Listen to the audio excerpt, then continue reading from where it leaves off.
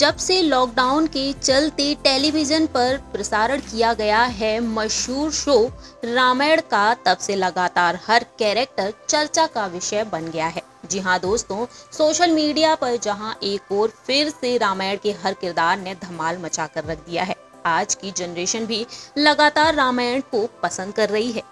ऐसे में आपको बता दें कि रामायण के हर किरदार के बारे में जानना चाहते हैं फैंस जी हाँ आखिरकार रामायण के बाद ये किरदार क्या कर रहे हैं और किस तरीके की ज़िंदगी बिता रहे हैं, इसी बीच हम लेकर आए हैं अपनी इस खास रिपोर्ट में रामायण में अहम किरदार निभाने वाले भरत के बारे में।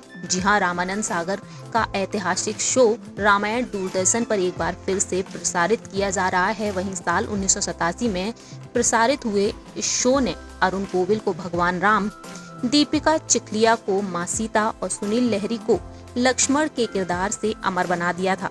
लेकिन वहीं दूसरी ओर इसी लिस्ट में नाम आता है रामायण में भरत का किरदार निभाने वाले एक्टर। बता दें आपको कि जिन्होंने इस किरदार को निभाया था, वो अब इस दुनिया में नहीं है। भरत का किरदार संजय जोग ने निभाया था। जानकारी के लिए आपको बता दें कि जब रामायण के भरत का किरदार निभाने वाले संजय जोग का निधन हुआ था, तब उनके निधन की खबर ज़्यादातर लोगों को नहीं पता चल पाई थी। इसी बीच आपको ये भी बता दें कि संजय जोग का निधन हुआ था लिवर फेल होने के कारण। साथ ही साथ आपको बताते हैं आगे की इस रिपोर्ट में संजय जोग के बारे में। लेकिन संजय जोग का निधन हो गया था 27 नवंबर साल उन्नीस में। अब हमारे बीच वो नहीं रहे हैं, लेकिन उनके किरदार के ज़रिए आज भी उन्हें याद किया जाता है। संजय रामायण के अलावा मराठी फ़िल्मों के भी पॉपुलर एक्टर रहे थे। संजय एक्टर नहीं, एयरफोर्स में पायलट बनना चाहते थे। लेकिन साल उन्नीस में भारत पाकिस्तान युद्ध में एक रिश्तेदार के निधन के बाद उन्हें घर वालों ने रोक दिया और इसी बीच संजय जोग ने मुंबई के एल्फिस्टन कॉलेज से ग्रेजुएशन कंप्लीट किया। इसके बाद उन्होंने फिल्माया स्टूडियो से एक्टिंग का कोर्स भी किया था और इसी दौरान मराठी फ़िल्म सापला में लीड रोल भी निभाया था। इतना ही नहीं संजय ने अपने एक इंटरव्यू में बताया था कि वह मुंबई हीरो बनने के लिए नहीं आए थे।